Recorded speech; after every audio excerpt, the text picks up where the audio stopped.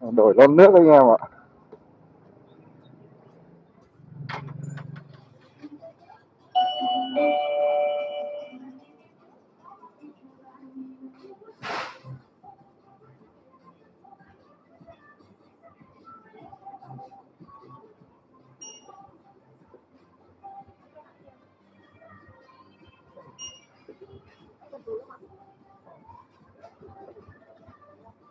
Cũng vừa đổi này à em?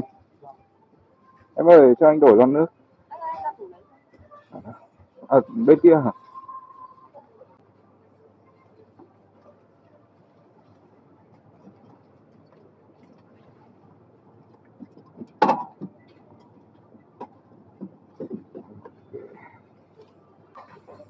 Em ơi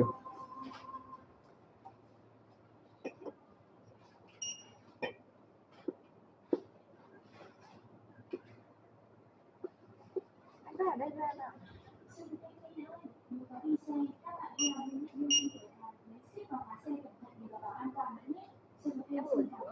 cho anh cái túi với rồi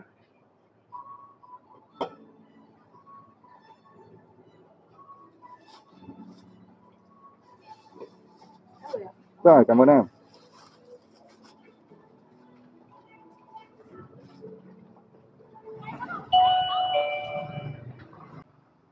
2 giờ đến giờ được 20 nghìn đây hai giờ giờ được hai mươi nghìn. Nghỉ một tháng rồi đến giờ nó ngon à có nghĩa là áp ấy rồi đúng không? Áp lâu rồi mới chạy. Và ăn lâu mới chạy. Từ 2 giờ được 20 nghìn thôi. Hai giờ giờ được hai mươi nghìn. Thôi cố gắng rồi đến tối kiếm lấy à, ba bốn trăm là ngon rồi. Cháu xin lấy xe nha chú ơi. Cháu đi ạ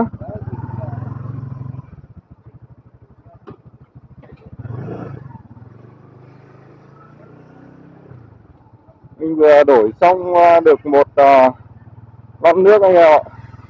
Thì ờ, thường thường là mọi người sẽ có hai mã.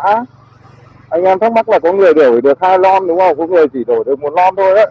thì là sẽ phải lưu kiểu như là lưu hai lần cái tin nhắn đấy.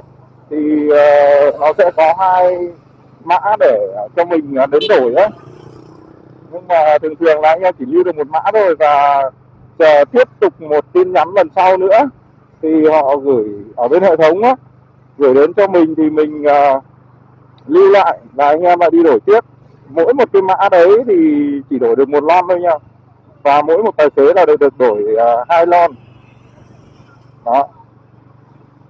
Uh, cũng gọi là khuyến khích cho tài xế tạo cái động lực cho anh em chạy mình ờ, phải đi kiếm cái gì ăn đấy anh em ạ đói quá rồi. đi ăn xong là chuẩn bị ờ, chạy giờ cao điểm, đúng không